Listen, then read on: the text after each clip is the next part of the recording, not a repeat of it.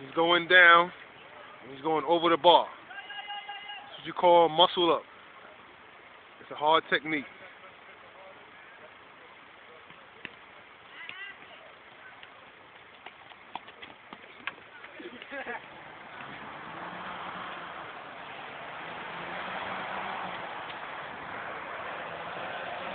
Stop. How you stop it?